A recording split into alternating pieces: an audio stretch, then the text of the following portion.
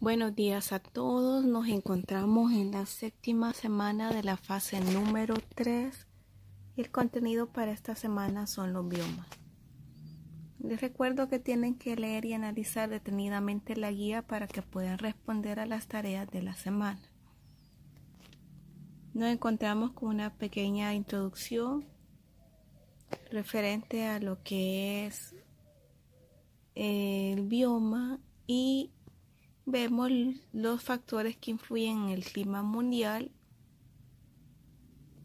que desde ya les estoy mencionando que tiene mucha relación con el movimiento de rotación de nuestro planeta Tierra.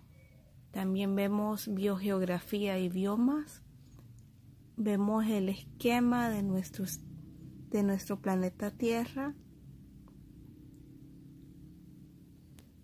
y vemos la definición de bioma, que es el conjunto de ecosistemas que está determinado por la flora y la fauna que predomina junto con el clima de la región.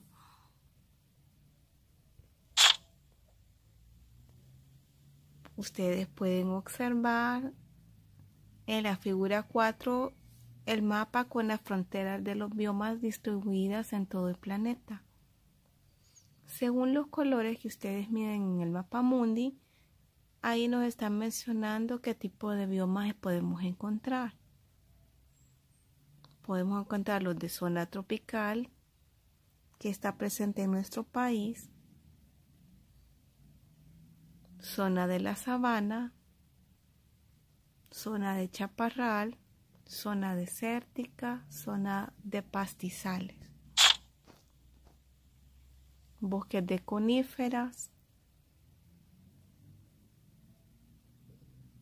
la tundra, bosques templados de hoja ancha y los manglares.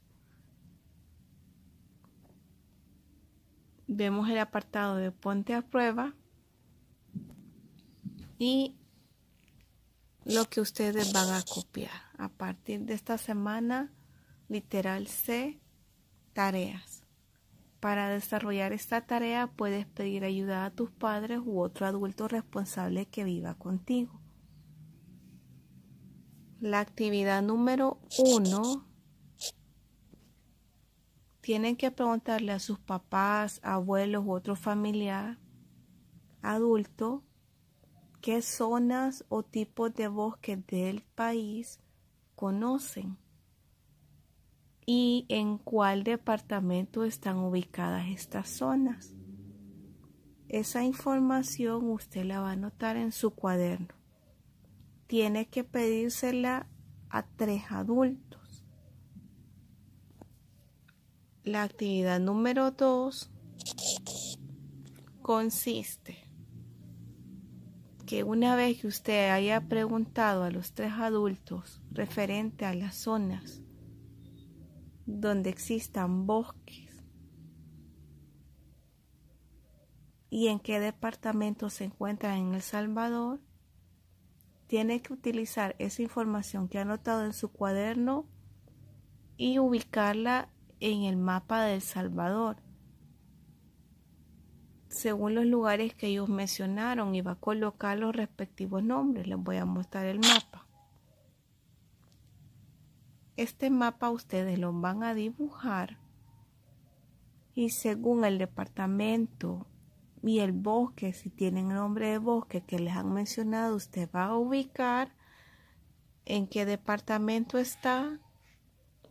Por ejemplo, si le mencionan de charlate, ¿verdad? ¿Cómo se llama esta parte de este bosque? ¿De qué tipo de árboles está constituido? Si son coníferas, si son chaparrales. Y usted le va a colocar el nombre.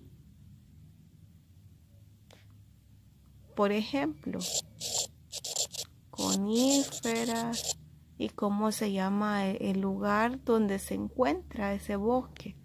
Eso va a ser usted. Si le mencionan manglares, por ejemplo, nosotros aquí sabemos que existen bastantes, ¿verdad? Entonces usted le va a poner cómo se llama esta zona de aquí, de estos manglares, y, y qué lugar es. Esos son ejemplos, pero ustedes pueden mencionar más según lo que les digan sus familiares adultos. Mínimos tienen que preguntarles a tres. Bueno, esto sería todo para las tareas de esta semana. Por favor, les recuerdo seguir las medidas que nos brinda el Ministerio de Salud, el Ministerio de Educación y háganle caso a sus papitos. Que Dios me los bendiga.